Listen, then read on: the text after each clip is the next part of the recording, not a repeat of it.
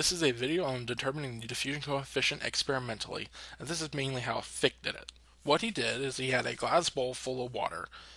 He also had a glass tube, and on the top of the tube he had stucco. And inside the tube he had hydrogen, so this was full of hydrogen. Now stucco is a porous material. It has basically tiny channels in it, and that allows the hydrogen to diffuse out and hydrogen is a relatively small molecule, whereas oxygen and nitrogen are relatively large and they don't really diffuse on through the stucco very much. So as the, as the hydrogen diffused through the stucco, the water the water would rise inside the tube. So he knew that the hydrogen was diffusing out. That's how he knew, due to this height height of the water inside the tube. But this rise this rise is due to a change in pressure, and if you change the pressure, you change the concentration.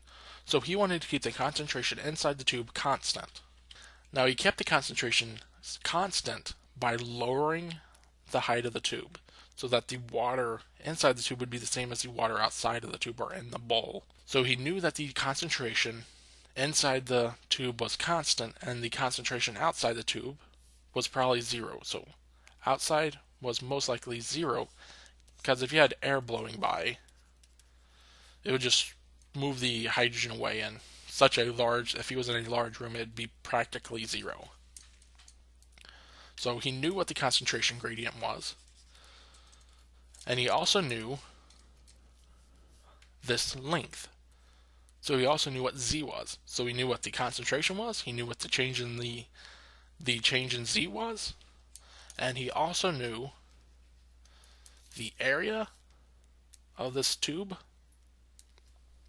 and the time. He could measure the time and the area. So he could find the number of moles that were moles that are going across the area per time. And if remember, that's flux. That is equal to flux. And he said flux was not equal to, but proportional to the concentration gradient over the change in the distance. Then what he did next was add a proportionality constant, and he called it the diffusion coefficient, or D. So now we could say the flux is equal to the negative diffusion coefficient times the change in concentration times the change in the z direction. And the reason it's negative is because it's diffusing out from a high concentration to a low concentration, and he wanted the flux to be positive. That's the only reason that negative's there, and I show that I show why that is in another video.